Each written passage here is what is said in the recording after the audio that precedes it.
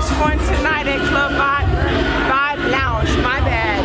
Listen, this was the best night ever. I didn't even want to leave right now. Best.